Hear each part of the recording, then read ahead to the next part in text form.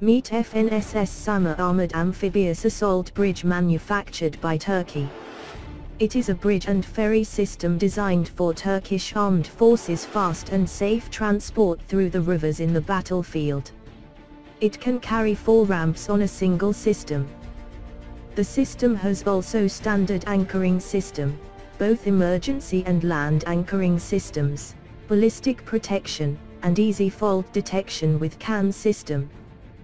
The crew cabin provides a protection against firing of small arms and artillery shell splinters.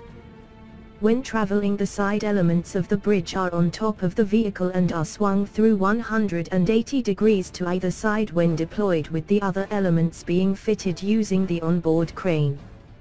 12 systems can be coupled and constructed as a 150 meters long bridge for crossing of vehicles.